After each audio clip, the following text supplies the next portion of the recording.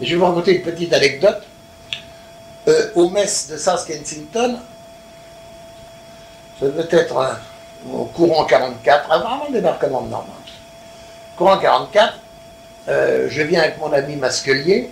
Masquelier est un commandant de libération du groupe Lorraine, un personnage absolument étonnant, petit bonhomme, de rien du tout, laid comme un pou, euh, qui avait quatre ou cinq citations comme fantassin de guerre 14-18, qui était un brillant décorateur et un dessinateur fabuleux, et qui était en Égypte, il était le décorateur du roi Farouk, il avait une collection de photos, des trucs qu'il avait fait, c'était étonnant.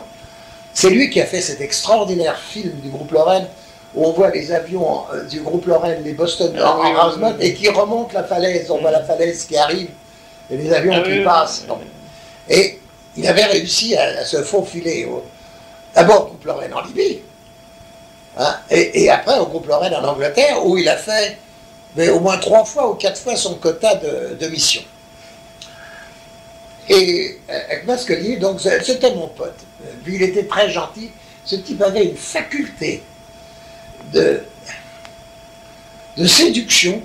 Il était laid, comme c'est pas possible d'être laid. Toutes les filles lui tombaient dans les poches, toutes rôties comme l'écaille du ciel.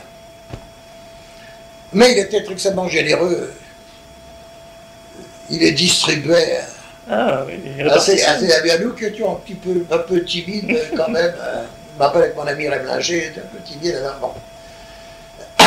Et on me rappelle la fameuse danseuse nue là, du Exhibition Club, là, où tout ça, que tout le monde avait l'œil, lui seul l'a emballé dans, dans les 24 heures, il a dit bon le chaos, et on l'a joué au dé. Il est perdu. Et on rentre donc dans le mess, et dans un coin, on voit Max Gage. Bon, Max Gage, indiscutablement, donc ça c'est peut-être une autre motivation. Donc, voilà. Bon, Max Gage, n'importe lequel d'entre nous vous dira, c'est le plus grand. Personne n'est venu au pied Max Gage. Hein, Personne. Quand je dis personne, je dis bien personne. C'est au nombre de Victor ou Ah, non. en qualité de pilote ses qualités de pilote, d'homme, de courage, de trucs. Il a commandé une escadre de mosquitos, d'attaque de bateaux à la fin de la guerre.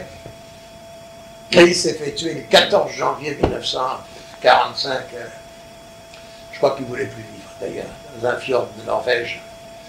Et ce sont, les, ce sont les Norvégiens qui ont élevé un monument à sa mémoire dans ce fjord. Euh, C'était un personnage extraordinaire. Non, il a descendu trois ou quatre avions allemands dans le golfe de Gascogne et tout ça. Lui, c'était les attaques de bateaux, qui était le métier de fou, de fou, de fou, de dingue. Et, et en particulier, il a, établi d'ailleurs, si, si vous voulez, les- il a établi ses marques dans l'attaque de Prince Eugène, n'est-ce pas, où il, il a fait trois passages pour protéger ses amis sur un croiseur allemand. Je sais pas, non, on ne peut pas se rendre compte. On ne peut pas se rendre compte si on n'a pas vécu ce genre de truc. Moi non, moi je n'ai pas vécu, mais n'importe comment. Euh, J'aurais simplement pas marché pour faire ce genre de mission. Et enfin, il a sorti les plus hautes décorations anglaises. J'en passe, et les meilleures. Et puis pour arriver à être le commandant de, l'escadre de Banff, qui était la plus fameuse escadre de mosquito d'attaque de bateau, dont il était le seul français. Il y a eu d'autres français, mais ils sont tous fait tuer. Les après, il y euh, ou un autre qui a été blessé, donc il a cessé qui était veille, mais Sabadini a été tué, il y avait un autre, je ne sais pas comment il s'appelait, je crois que c'est Cerf, euh, ah, ils avaient des pertes effroyables, c'était effrayant. Quand il a été tué, je crois que sur 18 avions, il a dû en rentrer 7 ou quelque chose comme ça. Donc ça c'est Mac. Et dans un coin, on voit Max Gage, qui était un personnage très solitaire, un peu triste, et voilà pourquoi il était triste. Il était avocat.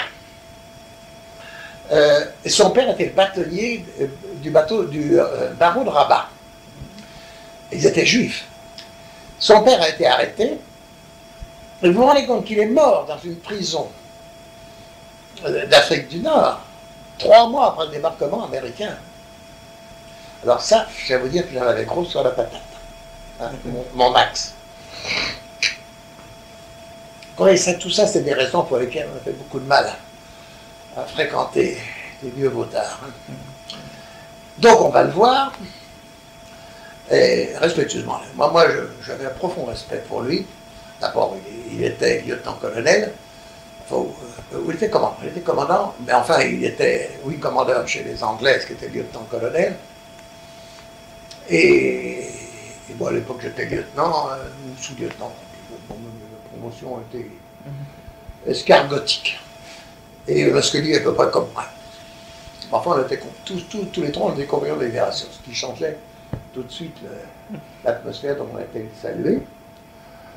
Et puis, il nous a dit de nous asseoir, nous a offert un pot, on a fait un petit peu la conversation. Et au bar, il y avait alors des illustres pilotes français de 40, n'est-ce pas? Euh, Je me rappelle, il y avait Accard, il y avait le fameux colonel Fleurquin qui commandait la patrouille de France, tout ça, euh, vraiment, euh, tous avec un Boal.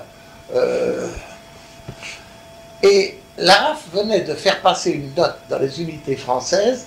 Eux, ils avaient recréé les cigognes, n'est-ce pas Les unités françaises, en demandant que l'on choisisse pour l'héraldique officielle de la RAF, ce qu'on voulait donner euh, aux escadrons français. bon. Et on nous demandait à chacun de donner un. Nous, on ne s'est pas fatigué à l'Alsace, on avait dit friendship, amitié. Et ça suffisait, moi je trouve que ça suffisait de mettre ça. Et voilà, les mecs qui étaient là en train de chercher les trucs sur le lion, l'aigle, le machin, le machin, on les entendait parler. Et mon masquelier, qui n'en loupait pas une, qui avait un sens de l'humour extraordinaire, il racontait les histoires, on se roulait par terre, ça, se lève, moi je me dis, ça y est, il va faire une connerie. Va vers eux, commande un verre, se retourne vers le, la carte, et Fleurquin qui était là, puis euh, il y avait Oz- Ozanne, enfin, mais vraiment les, grands cracks de 40. qui- Et il dit, mais qu'est-ce que vous faites?